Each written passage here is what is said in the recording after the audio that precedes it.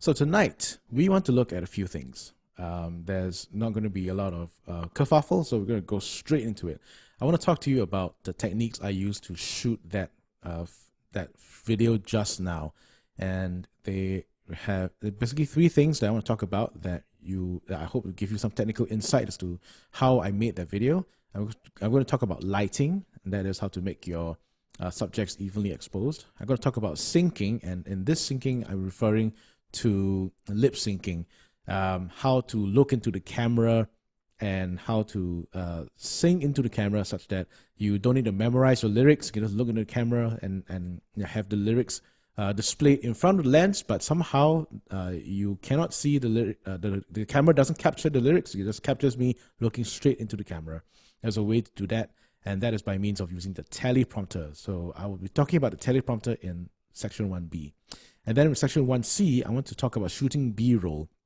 And B-roll basically means um, having different perspectives and shooting the same, uh, uh, basically shooting the same uh, video, the same subject, but from different perspectives to give uh, a different, uh, different angles, different, different look, different feel for fillers, transitions, and for basically uh, um, to make it to keep the visual interest of the video uh, um, higher than if you just have one static camera. Not that one static camera by itself, like if you have the whole song with just one camera angle like this, that's perfectly fine. Uh, if you want, but if you want to stir some visual interest, we have some way of making the video more interesting by using B-roll, and I'll talk about what B-roll is. Then of course there's Q and A, which um, while I've put it at the end of the video, feel free to stop me anytime to ask questions and we can really benefit from one another uh, if I, you know, if we know about each other's situations. So I encourage you to ask questions as we go along. Let's go to the first section on lighting, and this is the most important to get a nice, clean looking uh, piece of video footage. So, how much light do you actually need? It really depends on your camera, lens, or smartphone. You know, the lower that you can bring down the f-stop on your lens, um, the more light that the lens is going to be able to see and receive. And so, therefore, uh, you may not need so much lighting if your lens is a good lens or if your smartphone is able to process uh, footage at a lower f-stop. But you must be wary of the depth of field. While the low f-stop number is really good for a big bright image such as this, um, I'm actually talking to you and using my DSLR as the webcam and this is a f1.8 lens.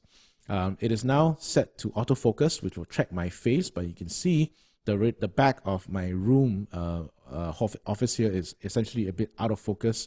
That's what we call um, the the depth of field. The depth of field is that little band of space beyond which things get blurry. If you go too far in front of the camera, it could you be out of focus. If you go too far away from the camera, you also get out of focus, and that re- that really depends on the lens's depth of field. Uh, the this is one of the things you must be wary of. The lower the f-stop on your lens, the quicker you'll be out of focus if you're not able to track your uh, your subject. The best free light source available is the sun. Nothing beats bright light like sunlight. Uh, the video that you saw just now, Christ, Our Hope in Life and Death, I essentially shot it at 11 a.m.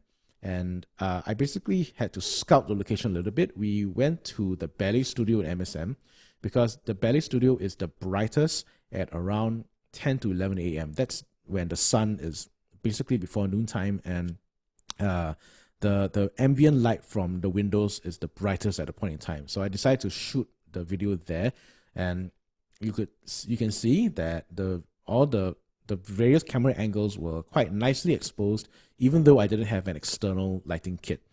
Uh, I do have an external, I do have a lighting kit, a lighting rig of uh, consisting of two different lights, and I'll show you what those are later on. Uh, but yeah, if you prepare beforehand, if you scout your location, if you understand where the light comes in at your location, you might be able to get away with just using sunlight for your video. Of course, that's uh, that's the best solution because it's free, but it can be very fickle. Um, there is a chance that clouds are going to roll over your uh, roll over the sun, you know, like cloud cover, and because sunlight uh, the the nature of the light changes actually when the cloud comes over because basically the light gets refracted by the clouds and then that gives off a little bit of a different hue of blue. So um, this, so what you see right now on the screen, um, I had to shoot a sermon video from my home office, and I started talking uh, when the sun was basically clear. There were no clouds, and I thought, okay, you know what? This is the perfect time. I'm gonna shoot my video right now. I didn't expect um, the clouds to come by because I mean I had to shoot a, a sermon video which is like 40 minutes long, right? And during that time, the, the clouds came and the exposure changed. The left hand side is when there's no cloud cover with direct sun. My skin tones were okay because I set the camera up to have the skin tones have that kind of color. But as the video went on, I didn't change the settings, and you can see on the right hand side, the exposure went down, and you can see that my skin tones became a little bit more pale um, because of the blue hue that clouds give off when, when you know they're passing over the sun. So, long story short, you can use the sun for a for completely free light source, but you just need to know that there will be some changes to the exposure and the white balance when clouds roll by or when uh, even at the time of day um, there is there's something called the golden hour in photography and that is the time of uh, 6 p.m. because and uh, nearer the evening that's when the sun is at its uh, it's got the intensity is just right for really nice looking photos. And if you can, uh, try to you can try to shoot around at a time, you know, 6 p.m. Unfortunately, for Singapore, for Singaporeans, 6 p.m. is also the time that kids play in the playground and you know people take their dogs out for a walk. So I've never been able actually to shoot at that time uh, of the golden hour, as it were. Um, it's just because of of of situations. Uh, if and when you can, do try. It's really quite a nice image when you shoot at 6 p.m. and and the sun is uh, not too bright. The sun is not uh, the the white balance doesn't change very off very much when uh, at 6 p.m. I mean, it's all very technical, but but uh, uh, but do try it out. It's it's something that's worth trying out. So, um, if you don't have the sun, what kind of lighting can you use, and and what are the the standard practices to involving uh, lighting? And you can uh, you, it is possible to just use you know one light one light source uh, but it will look uh, there will be a certain look to it um, as i said before in the previous webinar your camera isn't isn't very smart machines are not as smart as human beings your light your eyes adjust to lighting conditions it, even if it's just a single source of light you'll be able to uh, correctly expose the images uh, the image of, of like all the rest of the items in the room uh, even if it's just a single source of light. Your camera doesn't. Your camera will, uh, with one source of light, you're going to have shadows, you're going to have areas of high contrast, and that will look very, uh, uh, it's not bad. It's, it's very dramatic looking, but that's only because your camera uh, is not a smart device. It can't, it can't adjust like our eyes can. To help the camera adjust and to help the camera uh, get even exposure in a dark setting or if you need to if you don't have the sun you need to be in an enclosed space we uh, there's something in the in video there's something in videography a, a practice called uh, three point lighting three point lighting uh, as the name suggests requires three sources of light and the three sources of light uh, and this is the technical part of the video is the key light which is your main light source a fill light which is uh, as the name suggests it helps to fill in uh, the spaces where the key light doesn't fill in. And you have the backlight, which is the light that's used to separate the subject from the background. Otherwise, if you don't have the backlight, you're, and you, you only have two lights, if you have key and fill, what happens is you get a nice illuminated subject, but your subject looks like it's he's blended into the background. Not a bad image, not terrible, not the end of the world, but uh, to level up your footage, having the backlight really does help. And um, I did talk about okay, my I didn't have the time to edit the slides here, but um, I mentioned here hard light and soft light. What's the difference? So lighting is uh, I want you to imagine uh, a light bulb. When you have a bare light bulb by itself, and you you look at the bulb uh, with the light uh, emanating its light, it's actually very bright. Uh, it it is it is uh, you can see that the light's a bit harsh. You can see the beams of light coming from it. Now I want you to imagine the same bulb, but you put a lamp shade on the bulb and you use it as a night light. What happens? The light becomes uh, a lot less harsh. The the instead of distinct rays of light, you get uh, you, you almost you get like a, a, a area spear you know of light instead of, of hard beams and that actually is diffusion it diffuses the the lampshade is diffusing the the light bulb the light from the light bulb so hard light is when light is is, is like the the bare light bulb there's nothing stopping it nothing covering it soft light is diffused light light that has uh, that that is spread out more light that is uh, um, that instead of distinct beams. It's it's more like a uh, uh, more like a spear of light, as it were. So uh, that's that's what I'm talking about when I mention hard light and soft light, and and it's a bit more clearer when you see the my lighting rig where I talk about. it's a bit more clear when I talk about uh, my lighting rig where my key light is diffused and my fill light is not diffused. Essentially, you want to set up the lights as follows. Uh, this diagram here is to give you a rough estimation of where the lights should be. If your subject is in the middle of a clock, uh, and if the camera angle is is uh, the camera is placed at six o'clock, uh, meaning that I'm looking right into the camera here, you want your key and your fill to be at your sides. Your key light is going to be, uh, and it doesn't have to be left. It, I mean, whether it's left on the right or right or left, it doesn't matter. All that matters is that the the lights are set up according to their function. The key light is the brightest light that's going to be your main source of illumination. It's going to give the most diffused uh, light onto your face, but because it only has uh, one source of light, when you shine the light this way, you're going to have shadows created on the on the side that does not have the uh, it does not it, the the key light will shine your face and there'll be shadows created um, uh, which cannot be eliminated with just one source. You, therefore, you need the fill light, which is on the other side, to fill in that light to get rid of the shadows. There's actually a uh, there's actually a, a big art uh, uh, science and art to lighting. Uh, this diagram here is also for your your reference. If you can set up the lights to be uh, at that particular angle, at that particular intensity. Uh, there are numbers here 100%, 20%, 50%. Excuse me. Those refer to the intensity of light uh, that you can set up with, with the, the your lighting controls. And I leave that there for your, your reading, your reference. Uh, this is another picture. There's actually um, it, the industrial standard is not just three points of light. They actually have like maybe five point lighting, six point lighting, seven point lighting even.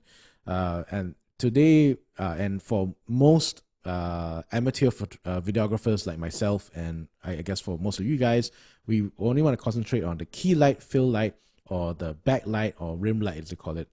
Uh, we don't we don't have the kind of money to get even more lights, you know, because some of these lighting rigs are really expensive. Um, I've I've seen I have seen an eight thousand dollar light before, and and it is amazing. and I mentioned one light, uh, so you want a three point lighting, that's three of those lights together to get an amazing cinema level, cinema grade kind of footage. Okay, so I've recorded a little bit of, I've recorded some short videos to demo some things. So I'm gonna play this for you, and we can watch uh, how I set up my lighting rig. My I have two lights, uh, and uh, I, I don't have three lights because I haven't bought my my backlight yet, but I managed to get by by improvising one of the lights, and I'm going to let my video explain it.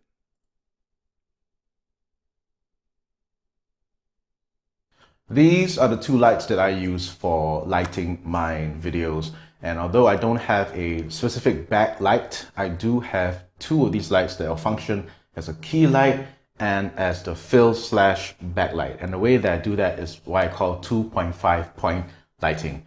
The key element is that that is the key light. That's the first thing that must always be in the lighting uh, rig because you want the key light to have the brightest, most diffuse light, the most flattering kind of image onto the face. And then with the second light, which is your fill light, you're going to use it to eliminate the shadows that are cast by the key light. And the way that I have a little bit of background separation is to angle the fill light uh, on a mic stand. And the reason why I like mic stands is because there's a lot more flexibility in angling the lights. As you can see here with this particular light, I can basically lift it higher and angle this slightly towards myself if I need it to have a bit more uh, focused to uh, not just get rid of shadows, but also to have my hair illuminated just a little bit. That way I can fulfill the function of both fill light and the backlight or hair light as or rim light as they may call it in different circles. So I'm gonna just wire all this up and I'm gonna turn them all on and you can see the effect of using a fill light and a key light in a 2.5 configuration. So this is the image that you're to get if you only have ambient lights from your, let's say, home lighting. They're really not that bright at all. As you can see, I am more than two stops of light lower than what is actually required to evenly expose myself. I'm going to turn on the key light and while it is an improvement over the current image, you will see that there will be shadows cast over my face. And as you can see, with just one key light, the lighting is a little bit improved. You can see my face a bit more clearly, but there's a bit of dramatic shadows cast on this side of my face because there's nothing on this side to cancel out the shadows created. And as you can tell, even though I have a softbox and diffuser on my key light, I still have a bit of shadows on this side. I'm now going to turn on my fill light and because it is angled above my head at a particular uh, height above me, when I turn it on, it is also going to function a little bit like a backlight. So you should be able to see that my hair becomes illuminated a little bit so that it gets a little bit of separation from the background.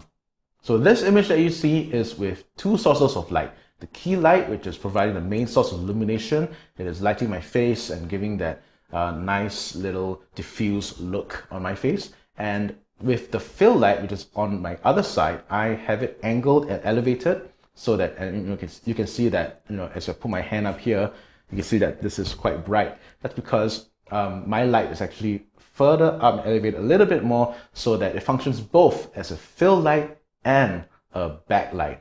Backlight meaning that my hair gets a little bit illuminated so that there's a bit of subject separation from the background.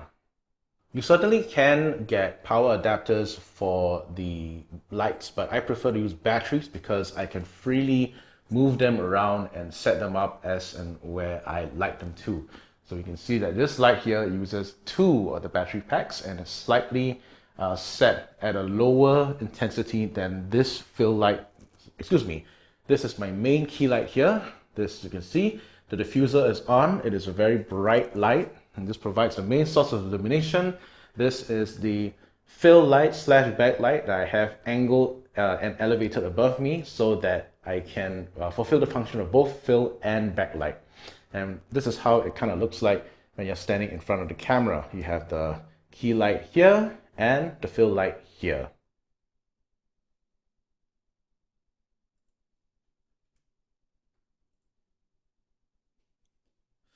Okay, uh, Linda asked to comment. Can you comment on the role of. Sorry, my volume's a bit down. so Linda asks, can you comment on the role of a green screen for using other backgrounds? um, Linda, what kind of uh, situation are you talking about? Maybe some context to understand why, uh, what, what, what role of the green screen is in your church context? Not so much of the church context, but you know, on TV, mm. um, sometimes they want to have a, a um, background that can change or so. So they usually use a green screen. Yes. Yeah. Um, the green screen can be used to, uh, well, uh, you mentioned television, and that's that's a great example. Like in newscasting, um, and for yep. for your weatherman, you know, the the they're actually talking in front of a green. They're talking. What's behind them is a green screen, and mm-hmm. the the um the production team has to project onto them behind them the the uh, you know the, the weather system all that uh, green screens can be used to um, what we to what we do uh, what they call overlay like mm, text overlays right. mm. um, most of video most of the video editors today don't doesn't need green screen to have text overlays uh, but if you have a if you want to have a graphic on the screen if you want to have mm-hmm. let's say um, I can put my church logo up here. I can put mine, or I can put like a, a, a, a like you know a slide picture over here. I will need to use a green screen so that that uh, the the editor can uh, color out, eliminate the green screen. Um, the technology is there. I, I I can't really get into the science of it because I also don't really understand. I don't know I know what it does, but I can't really understand it. But um, the computer is uh, uh, programmed to look for green, the color green, and just eliminate completely. Mm. And sometimes uh, some programs can look for green, some programs can look for black, and uh, black screen is the uh, perhaps the, the the standard used for like in church projection. If you go to, if you want to look at your church AV system and uh, your church projection system, when they show the lyrics on screen, um, they might be using a black screen uh, uh, to key out the black color of like a lyric video or of a lyric um, lyric text, so that you can see the white text in uh, at the bottom of the screen. Mm. Yeah. I was Um, wearing a green. I was using a green screen. I shouldn't wear a green dress then.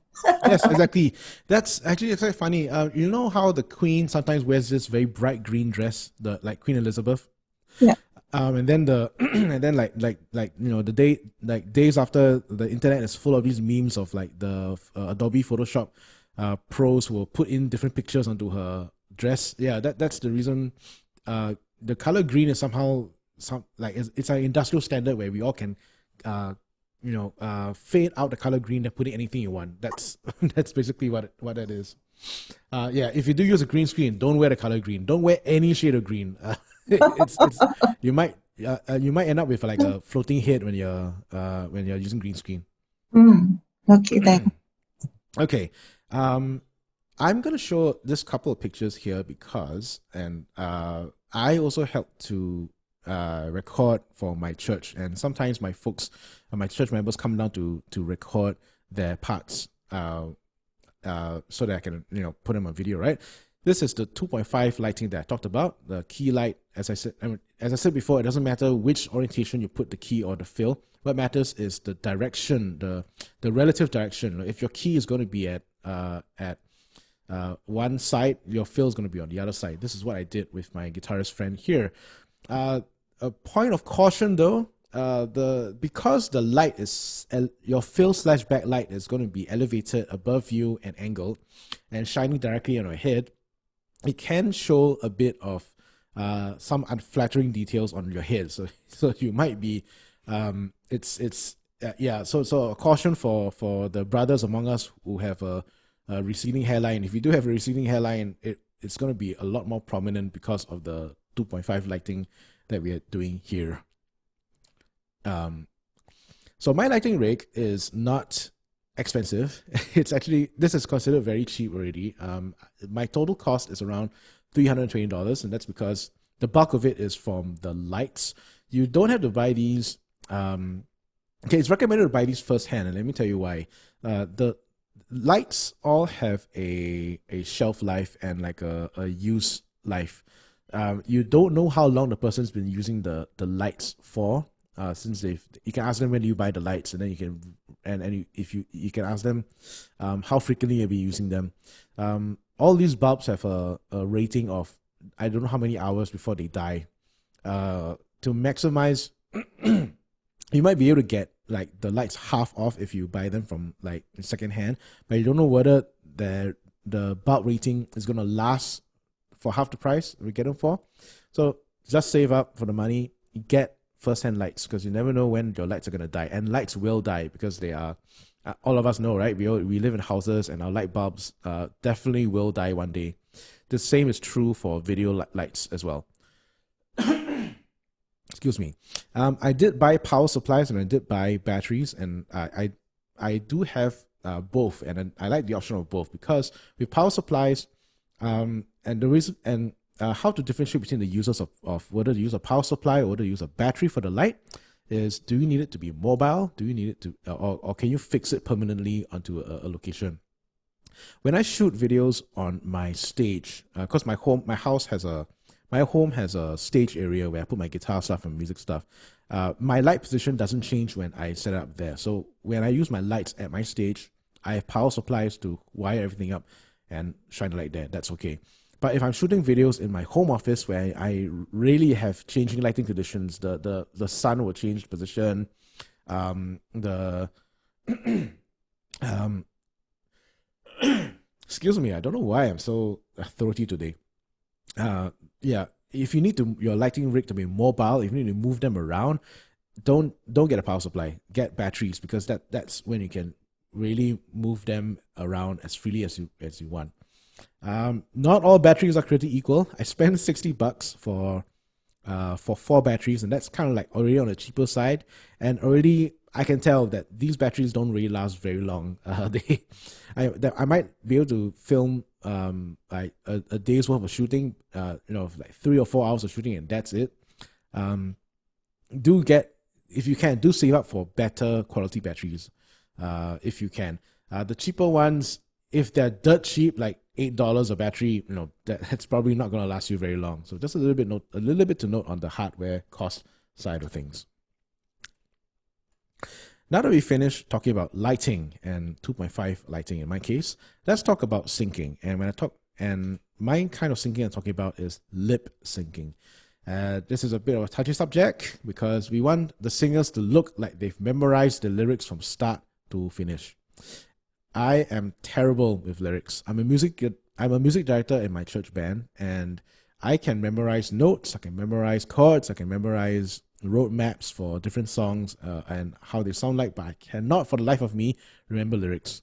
And when I lead worship, I'm the kind of guy who needs like the uh, in church we've got something called a confidence monitor, and that's at the back of the, the screen. I always tell my my AV guys to make sure that the confidence monitor is on because I never know when I will like must mess up a word or something in the song. And uh, so the solution to have people um, constantly looking into the camera and singing the correct lyric from start to finish, we want to do something called lip syncing. To lip sync a video, you need to do you need to record the audio first, then record the video later. This is partly why I decided to arrange the webinar so far in audio production and video production because I think that the best way to look, I, I think the, the, the most pro, quote unquote, pro way to look on camera is to have the audio done first so that you can sync the, the video later on. Of course, this is touchy. it's, it's, touchy because a lot of people uh, might argue that it's not very authentic if you were to film, uh, if you were to do the audio first, then the video later and lip sync later. So it depends on your congregational context. Some people are perturbed by it, others not so. Uh, the churches that comment that lip syncing is wrong, they want to look for authenticity in worship. They are the guys who don't mind us having the earphones like this and looking at our phones or looking at our, our, our scores and singing and not having eye contact with the camera. Other churches, the folks will go, wow, y'all don't look very pro leh. If if the headphones on, with the the lyrics in front of you, looking down like that, not very pro. Um, those are the churches that will prefer um, a bit more of the pro approach of lip syncing. Um, so because looking into the camera could be misinterpreted as performance. It really depends on your church and how comfortable they are. Uh, if you're the kind of church, if your church the kind that cannot, um, uh, if if your if your church is the kind that doesn't appreciate uh, lip syncing and saying that oh it's wrong, definitely wrong lip syncing, there is a, a, there is another solution, and the solution I re- like to recommend is to record the singers off axis so that the camera captures a side profile instead of a head-on profile. If I look at the camera and sing head-on profile into the camera like this, I cannot have anything around the lens because that will definitely signal no, because that's definitely like like you know uh, uh it's it's not going to look good. Uh, a side profile, on the other hand, I can have the camera looking this way at me, and I can have the lyrics in front of me, and you can uh, and I can sing looking at the lyrics here while the camera captures a side profile. That's one of the ways to get around it. I have a little demo uh, over here. This is a this is a song I recorded with my my drummer friend for Christmas.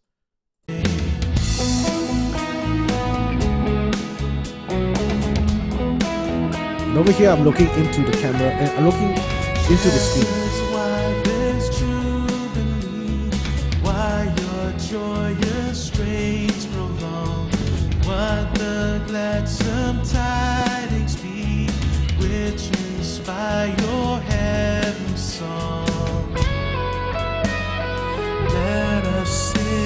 So what you can what what you saw there was that I was essentially set up my camera to the side. I had my computer screen in front of me with the lyrics on, and you can see the exact moment that I uh, had to look into the the camera that I had to look into the computer screen to find the lyrics. Yeah, that's a so that's the thing about about having lyrics um, at any point in in uh, that's the that's the problem having lyrics uh, um, elsewhere from apart from the camera. As soon as your eyes look to another part of the the uh, uh like look to the side of the camera to look for lyrics, your camera is going to capture that eye movement. And um, in my church, uh, I thought that that um, there was some feedback that my that some people were giving me in my church, and that the people who were doing this, you know, looking to the side for lyrics because they set up like lyrics next to the camera, right? Look look to the left, look to the right for the lyrics. Um, some comments we received was that it looked a bit distracting for people to have the eye movement left and right like that. I don't know whether you can see from here or not, but like yeah, if if I look in the camera here, sing sing sing, then check lyric, oh, see my eye move to the left and right. The feedback we got was a bit on the, uh, it was a bit distracting. So one way that we eliminated that was the lip sync. Um, and how do we lip sync then? I have a solution. Uh, how do I present from here? The solution is to use a teleprompter with an inverted lyric video. Um, we, I, I will confess here, Amelia and I, uh, my my colleague MSM, we didn't memorize the lyrics for Christ, Our Hope in Life and Death. We were actually singing into a teleprompter, teleprompter setup. and let I'm going to let this short video show you how the teleprompter is set up with the camera and what I'm using to uh, show the lyrics on the teleprompter so that uh, uh, I can sing into the camera without uh, losing eye contact with the camera. and for those of you who are familiar with the news uh, um, te- newsroom news technology, uh, the teleprompter is basically the the contraption with a mirror that allows newscasters to read their lines as as they come up on the screen without actually having to break eye contact with the camera. So I'm gonna I'm gonna show the video here.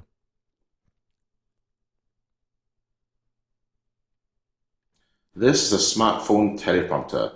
In other words, it is a teleprompter that is sized for a smartphone at the bottom part over here. And what this is is pretty simple. It is a camera attachment that allows you to attach a lens through this uh, section here. The lens ends up at the end, at the edge of the me, edge of the glass here.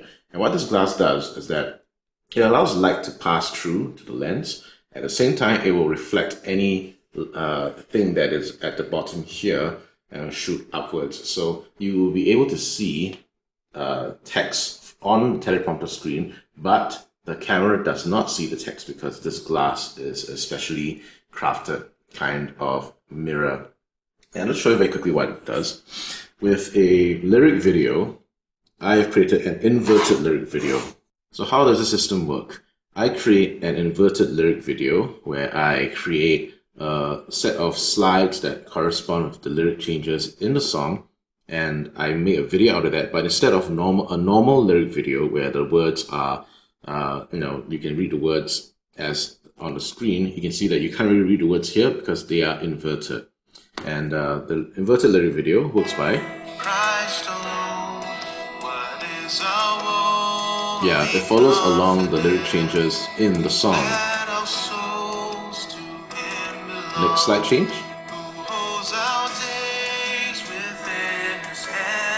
And this works because when I load my phone onto the teleprompter, you can see that the lyrics are now right side up and I can press play here on my phone. Apart from his command, and what will keep us to the end, etc. etc. So the inverted lyric video displays the lyrics onto a screen, the teleprompter screen here. I can sing the lyrics and I'll be able to follow along and maintain eye contact with the camera lens, which is most important.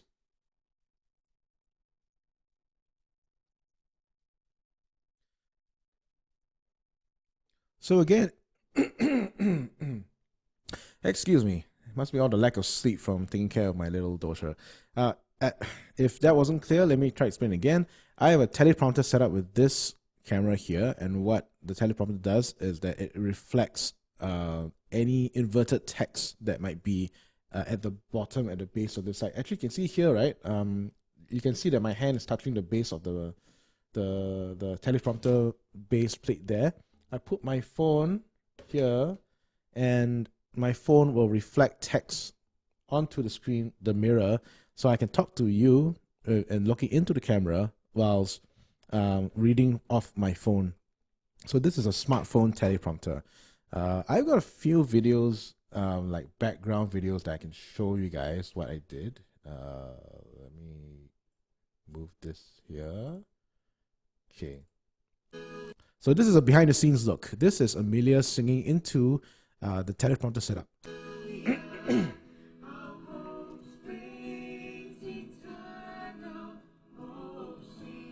so that's the teleprompter. Set up on a tripod.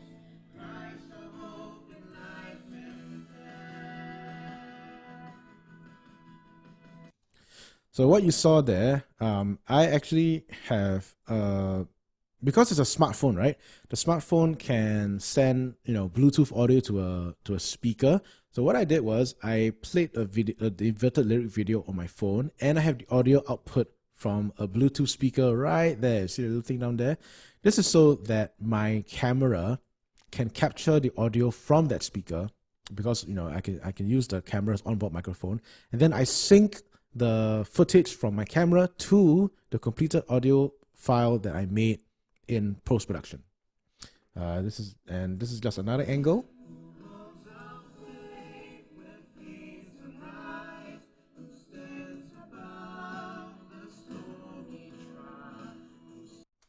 So as you can see, this is quite a mobile setup. All you need is to make the inverted lyric video, bring out a tripod, uh, the camera, the teleprompter, and if you want to, a Bluetooth speaker, and you're able to record uh, uh, the, the, the, the, your singers looking into the camera without much hassle. Let me show you how uh, to create an inverted lyric video.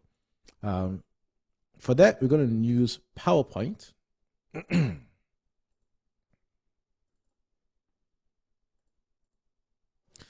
and um, we want to have the lyrics flipped around, right? Let's uh, first, um, some considerations. We need the lyric video to have a black background because if it is a if if your lyric video is has a white background, what's going to happen is it's going to shine too much light from the phone into the camera lens, and that's going to mess up your exposure. So you don't want to do that. You want to have a black background with white text. So that, that's uh, uh, tip number one. I'm just gonna blank. No, I'm going to lay out. Okay, you don't need this. All right, your lens is actually going to be in the middle of. I want you to imagine like there's a, a circle in the middle of the screen here, and this is where your camera lens is going to be. Uh, and to have to maintain maximum eye contact with the lens here, if I put in text on the top here, if your lens is in the middle here, you will still see a little bit of eye movement to read the text on the top left hand corner.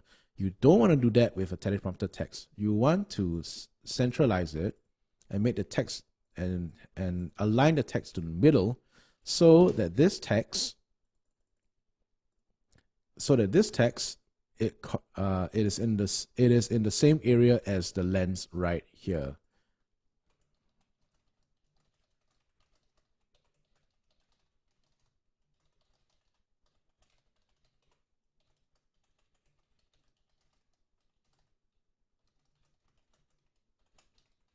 Let's just say this is the lyrics, right? All right, you you finish typing the lyrics for for a um, let's say a, a section here, and let's say you you have a few you know um, you have other slides for verse 2, verse 3, chorus, etc., etc. When you're done, save as you're to have to change it to a picture. PowerPoint has this uh, ability to 3D transform pictures, and uh, it cannot 3D transform text. So you have to convert the lyric, the, the you have to convert these lyric slides into pictures first. So once you're done with your your lyrics and make sure everything's spell check correct, everything's done, save as, and you can click on the save as here. You're going to change the file format to PNG, Portable Network Graphics Format. So name anything here. Just this. Oh, nope.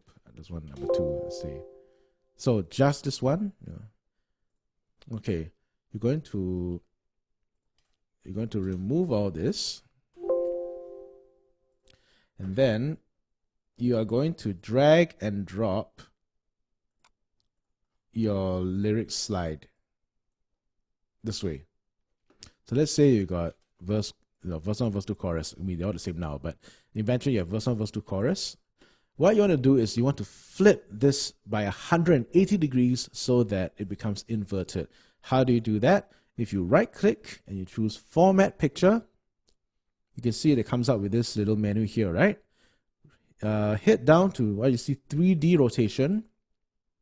Then on X rotation over here, you are going to type in 180 degrees. Voila, this has now flipped. It looks weird to us right now because we are looking at it as it is, but when you put it under a teleprompter, it will show right side up in the correct orientation direction. So if you have, you can format this, um, you just repeat this for each and every slide that you do. Uh, for every slide that you. Um, in general, most songs have six or seven lyric slides to invert, which is not too problematic and not too concord. Uh, but if you do have more slides and you want to to repeat the format of uh, of let's say flipping this right, you can apply the same format to every other slide by using the format painter, right? Uh, you can you can read the what, what happens. Uh, you can you can read the specific menu command uh, at your own time. Um, I'm going to do this. I'm going to show you the procedure. Click on the item that has already been inverted, your first slide that's already been inverted. Double click the format painter. So so that right now PowerPoint is going to uh, PowerPoint has recognized that you want to invert all these slides. Okay, you like the format. I'm going to apply the same format to other pictures that you choose. Go to the next slide click on it and it will invert. Go to the next slide. You see the, the little paint symbol on next to the arrow, click on it and it will invert.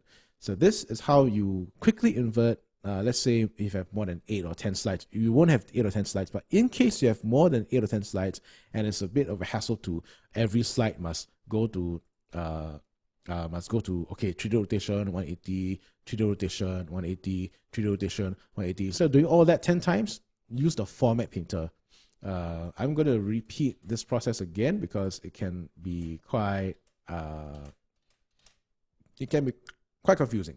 So let's let's start again. Let's say, let's say you finish your lyric slides, you export them as PNG, you import them, re-import them into a PowerPoint.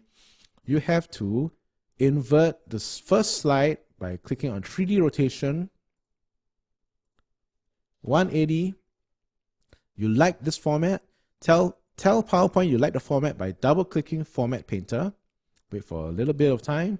Then click on your other slides. Click on slide number two. Hover your mouse over the slide, the picture. Click. Go to the next slide. Hover over the, uh, the, the picture. Click. That's how you invert all these slides together. Okay. Then when you're done, you can save again. Save as. And you want to save it as a PNG portable, yeah, portable graphics network. Oops. And save your slides out there. So I'm not going to do that because I already have already done so. Um, I'm going to show you how that, okay, just, just quickly because we have a bit of time, I'm going to show you uh, what that looks. I'm going to show you how the lyric, uh, um, how I created the, the inverted lyric video. Uh, it's all here, teleprompter.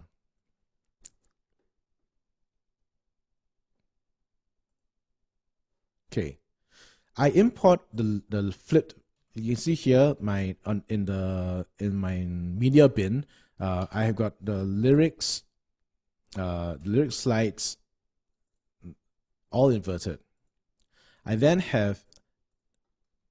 I then put the audio file of the song, and then I drag and drop the different slides to correspond with the uh, the lyrics of the song. So you can see here, um, this is verse. This is verse one going to the chorus, or rather, this is verse one going to uh, the second half of verse one. that our souls to him belong, who holds our days within his hand. What comes upon Then I go, I go to the next. I, I'll just go to near the next transition, right? So you can see, uh, uh, after a while, when you work with these, after a while, you'll be able to read a bit of the inverted text. Uh, the love of Christ in which we stand. That's the that's the last line. Before, that's the last line before the next slide change. Christ in which we stand. Next picture.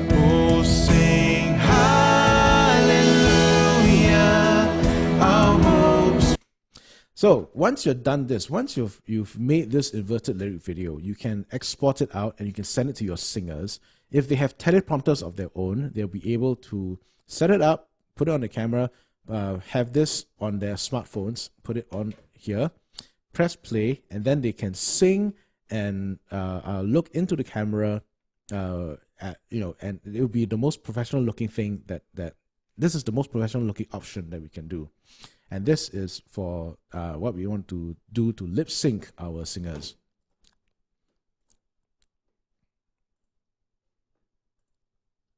So let me talk about a little bit about the hardware needed. What you need, you need a teleprompter. The teleprompter that I have is pretty cheap. It's about fifty dollars from China. You can get the really the, the thing is if you go to the US and Amazon, right, and you want to buy uh, teleprompters, you can. But those kind of teleprompters from let's say Parrot, they cost upwards of two hundred dollars for a teleprompter. Uh, I've used I use this China fifty dollar no brand teleprompter. It works. So um, I might link. I, I I'll try to find a link to the teleprompter that I bought, the specific model from Lazada, so you guys can check it out as well. You need the teleprompter with a smartphone attachment, so you can play the lyric, the inverted uh, uh, lyric video. Then you need a tripod uh, to mount the teleprompter setup because the teleprompter doesn't come with a tripod. You have to supply it yourself to fix it up, and then yeah, make a flipped lyric video to play on a smartphone. That is for syncing. Now we are talking about the next technique, and that is on using B roll. What is B roll? Um, as if you remember the video that I showed uh, that we s- worship with just now, the video wasn't just one static camera angle of Amelia and myself all the way. I interspersed it with different types of shots, different um, different camera angles, um, different types of movement. Uh, there's some dynamic uh, uh, information. There's you know some some of the footage was like you know uh, it was a, a moving shot where move from left to right. Others was an overhead shot where I can also move left and right, pan shots, right? Um, that is those shot, kind of shots, those that are different from the main camera angles of just looking at me this way. It's called B-roll. In cinema, the principal footage it comes from cinema uh, uh, and comes from Hollywood and filmmaking. Uh, you've got your A roll, which is like the main camera angle, then the B roll, which is for the different perspective.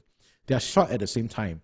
Uh, camera A is shooting the main you know characters. Camera B is the one that's shooting from the side, shooting with a moving overhead camera, etc., etc. And B roll is mainly used for fillers and transitions.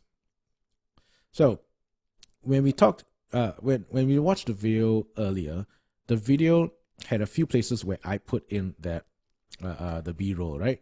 Uh, let's just very quickly. Uh, I'll show you one of the things about okay. So so this opening shot here that I used for Christ, I hope lie in death. Um, it was slightly cheesy, but I think I, I quite liked it because it, it was you know it's it's just artistic like you know. Um, I had Amelia time herself to walk in front of the piano and play that first chord.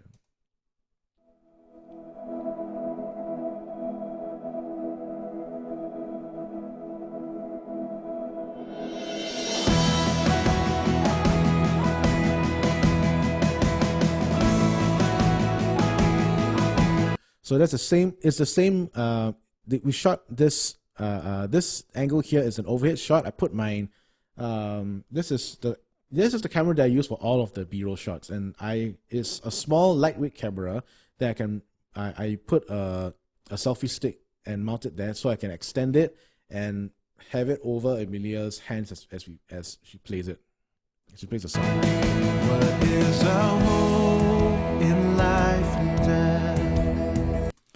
Um that is the way I use B-roll as as a way to intro as to use as introduction, to use as interludes, um, and also for uh, I'll, I'll show you the other interlude that we did, and uh, right here, Life and death. another overhead shot,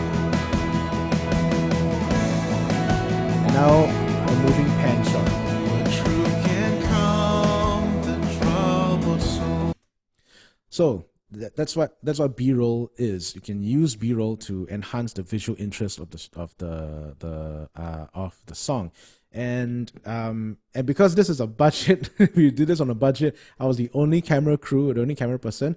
We had to record the same thing uh several times. Plan your shot beforehand. If you know you want uh, nine different perspectives or nine different uh, angles of of uh, of your your shot, right? Of your subject. That means you need to record the same thing nine times. you want if you um for Amelia to for me to capture Amelia playing the lead line from this perspective, one shot. For for me to have for her to play um this is another shot. This is the same lead line, but I had to have the camera hanging over her. Let's see. This is yet another one. This is another overhead shot, different from from the, from the first overhead shot. This overhead number two, which is a different camera angle. And of course, this shot there, same line, but I had to shoot using um, I had to shoot with the movie perspective here. So the same lead line, the same piano lead line, da, da, da, I shot four different camera angles uh, so that I can weave them in and out depending on the uh, depending on uh, how I wanted to creatively show the uh, uh, in the video. And this is what I call uh, okay in in the land of in photography world and videography world there's something called the photographer's plight and that is because the photographer is the is, is the one behind the camera right he doesn't have that much opportunity to film himself so i did a lot of b-roll for amelia because i was shooting the, the i was shooting all of it right with um and i know how to shoot um amelia doesn't know how to shoot camera and uh, shoot video and you know, and, and I didn't have anyone else to help me with that. So my B-roll of my camera angles and my acoustic guitar all very limited. I didn't have any pan moving shots. I didn't have any dolly shots. I didn't have. Um, I wasn't able to get those nice um, uh, uh, uh, uh, panned left right shots because I I couldn't do it. No one could do it for me. Um, but I could do it for Amelia. So there's one thing to consider as well. Uh, if you can, uh, do get your your video crew right. If you if you really can, the ideal world situation is that you have two different crews at the same location. Crew A is the one that shoots the principal photography, your main camera angle, the one that that uh, is maybe the static cam for for the the worship leader or the singers or musicians. Then your second crew is the one who will shoot the B roll. So everyone has got the chance to to be featured, uh, not just on the main camera angle like this, but also on the uh, on other perspectives, the side, um, overhead, uh, zoomed in on their hands, um, the what what the guitar is playing.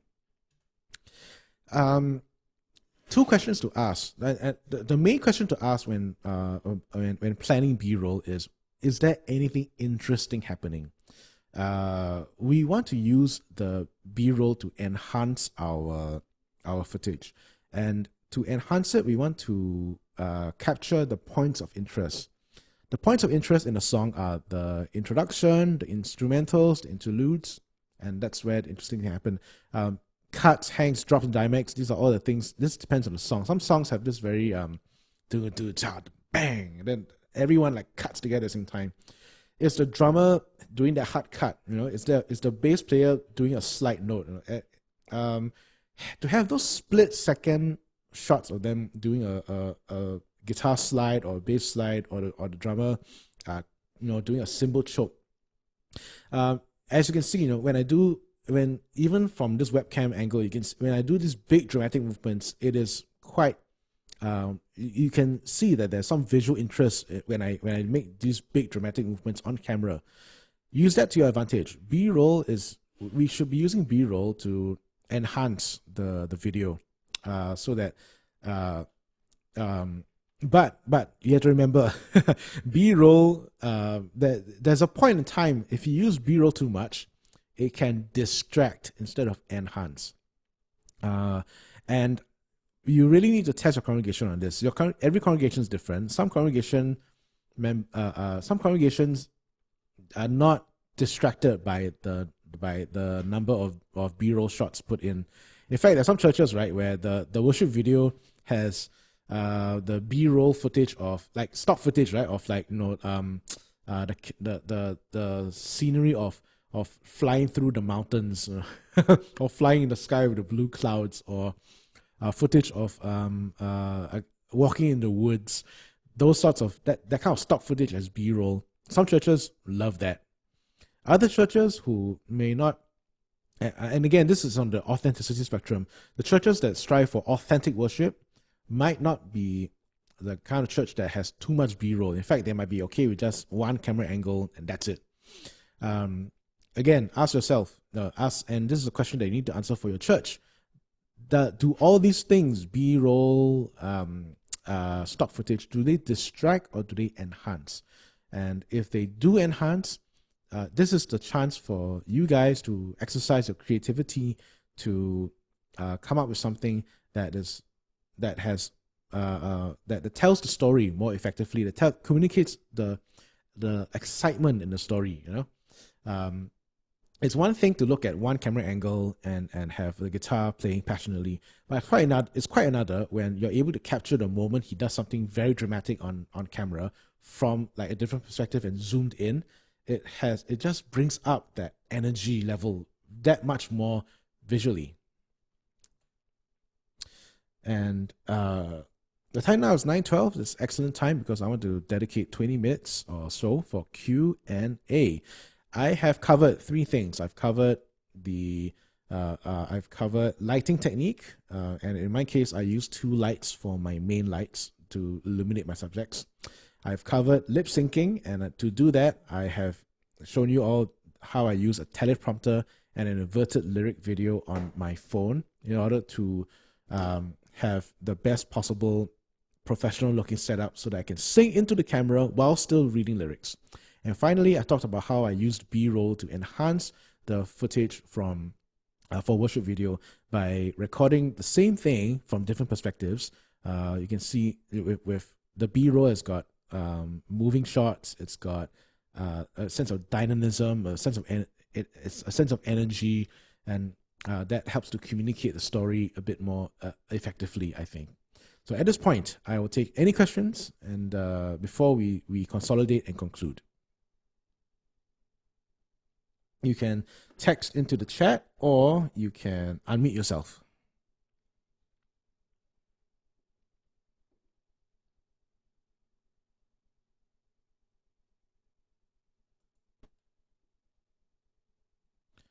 And while that's happening and waiting, I will take a bit of a drink.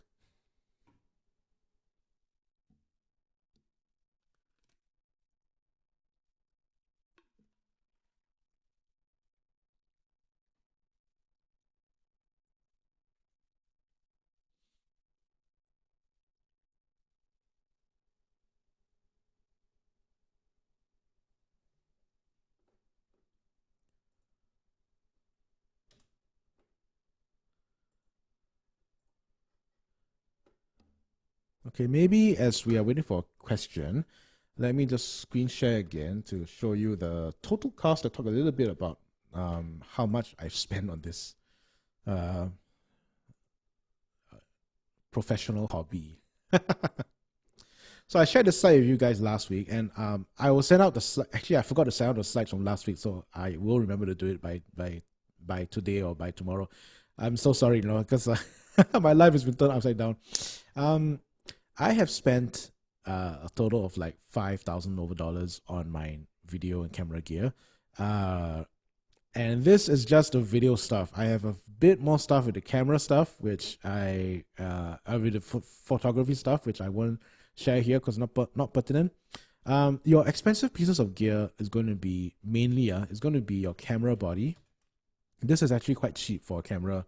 Um, I have seen uh okay right now right this is old technology. Right now the cameras are really good.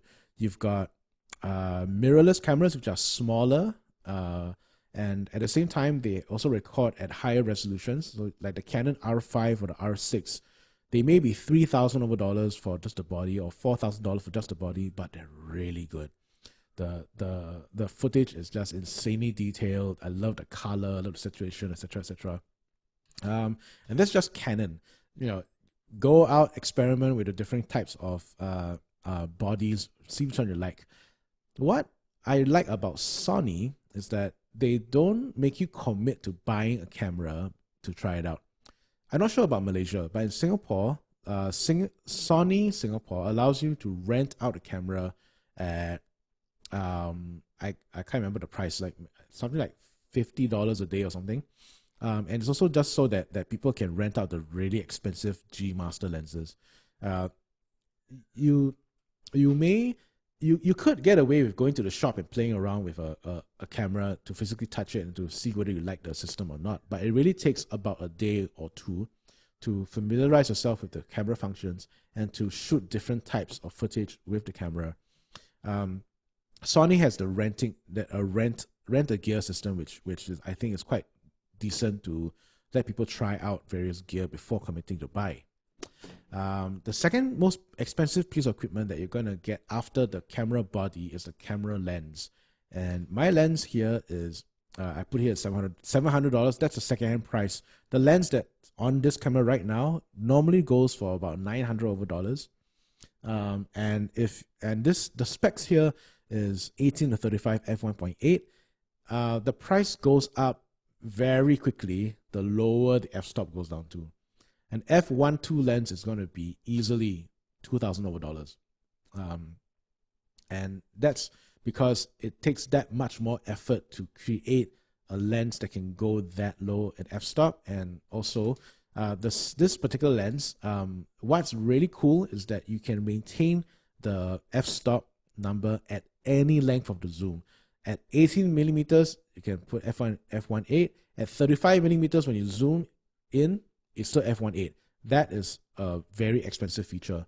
Um, if you have a cheaper lens with a a cheaper lens doesn't keep the f-stop constant as you zoom in. It might be okay you see this number here? You see this Sigma Sigma 70 to 300 you see how the two numbers in the f-stop f4 to f5.6 this tells me that at 70 millimeters at the at the unzoomed uh, length of the lens, it's f4. But if I were to zoom in all the way to 300 millimeters, I cannot get f4. I cannot get the lens to shoot at f4. The lowest uh, f-stop at 300 millimeters is going to be f5.6, which is 1.6 of stop, 1.6 stops of light uh, less than f4. And I tell you, one stop of light makes a very big difference in the way the the the the, the image is going to look like on camera. Um, and then uh, the third piece of gear, which might be expensive, but I didn't include here, is gimbals and stabilizers. Now, what is a gimbal? A gimbal is a piece of equipment that basically um, it keeps the camera steady, and no matter where you move, left or right, up or down, uh, you, the problem with if you just shoot a camera like this, just handheld, handheld footage is going to be shaky because every point of contact that your hand makes is going to introduce a little bit of shake to the camera, so you're going to see a little bit of wobbliness in the fo- in the footage. A gimbal, uh, and especially a motorized gimbal, is going to be a device that has motors as counterweights on each side of the, the camera and are motorized so that they automatically correct for any shake they introduce. if you see very smooth footage, let's say the pan shot is, is like seamlessly left to right, no shake at all, that's probably done on a gimbal. And gimbals can go very expensive. They can go up in excess of thousand over dollars for a good DSLR gimbal. Um, but if you're making s- slow, if you're doing very small uh, side to side shots, you can get away with it handheld because right now in today's technology, some cameras like the ZV-1 have very good in-body image stabilization, um, and the the the the stabilization technology is so good that a, if if you just very slowly move from left to right, you won't detect that much of a camera shake. And this is a recent. This is quite recent. Uh, cameras, uh, newer cameras will definitely have have better stabilization technology. Your older cameras, not so much. They're gonna have you're gonna have a lot more shaky cam. If you try to use handheld on, let's say, a Canon DSLR um, that does not have in-body image stabilization, IBIS. That's the short form for it. So yes, so this is the extra bit of tidbit information for costing costing purposes.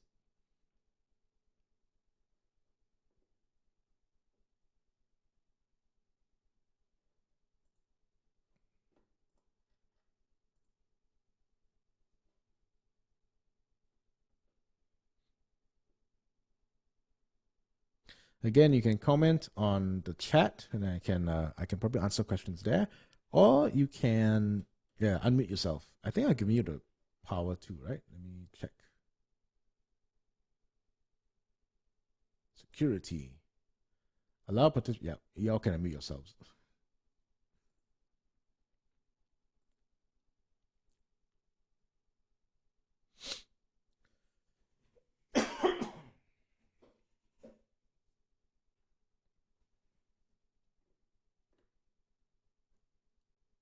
I'm also watching the time because uh, my little one's routine um, is between two and three hours. I last fed her at 7:30 p.m. So 9:22 is kind of like the the time where she might be starting to fuss a little bit, and uh, hopefully I can go and help my wife out.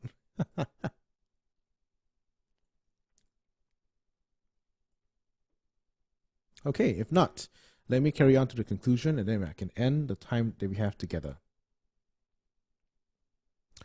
In conclusion, audio and video production is both a science and an art.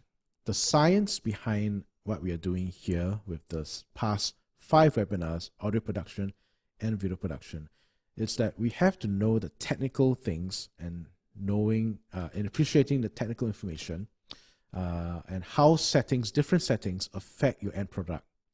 In in the land of audio production, uh, we need to know uh, how we want the song to sound like at the end, and then we need to know the settings that we need to tweak in order to achieve that creative end product for the sound.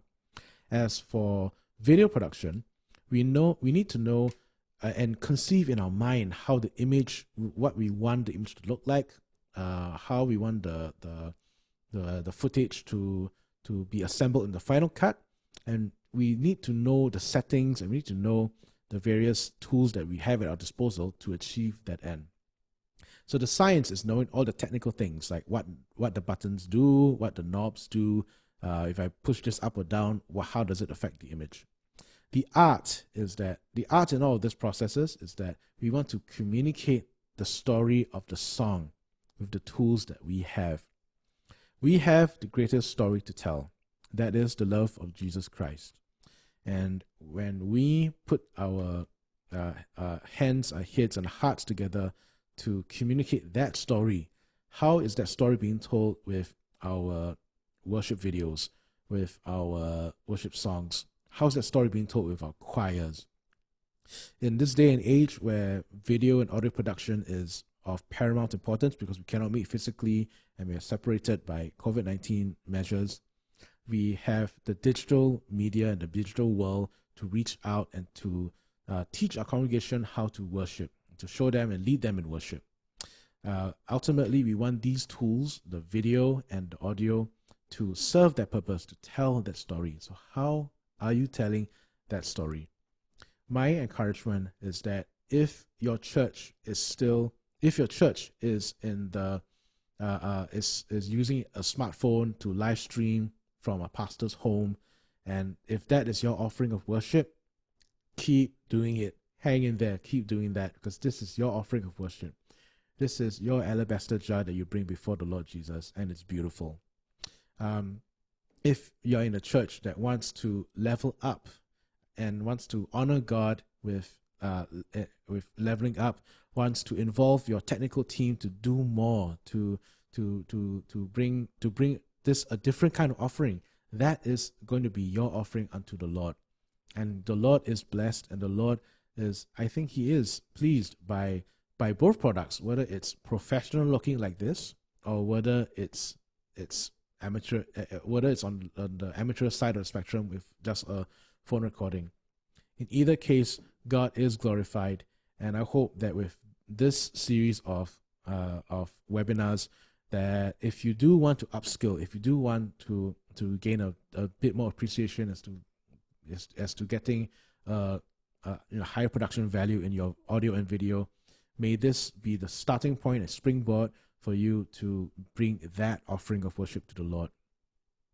It takes a lot of practice. the the things that I've done, uh, the things that I'm doing for MSM and for church, it wasn't an overnight thing. Um, I started my, and if I were to be honest, I started, uh, I only started to get a hang of this after years of doing videos by myself.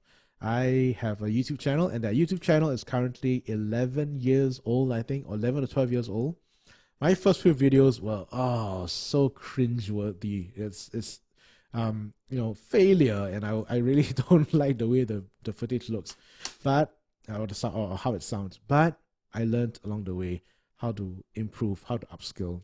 So my encouragement to you is this: if you do want to upskill, you won't get it right the first time round, second time round, third time round. You get it right maybe on the twentieth time, 40th time, 50th time. The key thing is to keep at it.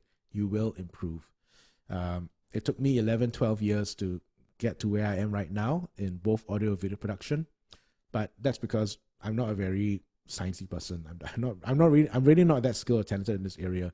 Some of you guys who are AV trained, who who know how to do this, you know, who know AV at the back of your hand, you can get it done in maybe 12 weeks, maybe 12 months, instead of 12 years like me. Uh, again, I want to reiterate uh, what is the story? How are we telling our story? Uh, the story of the love of Jesus, and uh, and I want to encourage you that whether it's professional looking or amateur looking, that is going to be our offering of worship to God, and God is pleased. Without further ado, let me close us with a word of prayer, and then we can call it a night. Come, let us pray.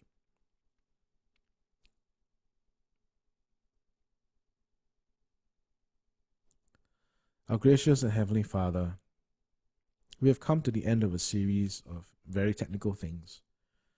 It might be very startling for some of my friends here tonight. But I ask and I pray for uh, for for for clarity from the Holy Spirit. Lord, is this where you want us to go? Lord, is, is this what you want us to do with our resources, with our ministry members? If and if so, we pray that doors be open. We pray that minds be open. We pray that processes be be be put in place, the opportunities be available so that people can be mobilized, that resources can be spent, that people can come together to bring an offering of worship, whether it looks pro, whether it's amateur. We want these to be our our offerings to you and we know that, that you are pleased with them. I pray for my brothers and sisters here tonight that as they go back home to their churches to uh, to apply what they've learned, I pray for grace. I pray for for more measures of grace, grace in that that the ministries will will uh, be open minded, grace in the leadership levels that they will uh, they might talk about and approve the spending for some of this equipment. Uh, but but more than that, grace to to uh, for everyone to be captured by the vision that when that what we that all that we are doing is for your glory and your glory alone. This we ask in the wonderful name of Jesus Christ, and all God's people say, Amen. From the bottom of my heart, thank you for coming for tonight. Um, this is the end of a journey for for some of us, and uh, I hope that um, after this, uh, and uh, I'll still see I'll still see some of you in other webinars as we go along. This certainly isn't the last of the the skills training workshops for MSM. There's going to be more, and when they, they come out, I'll I will make sure that you guys will know what they are, when they are, and uh, how we can further bless you uh, uh, uh, as as life goes on in, the, in our church today.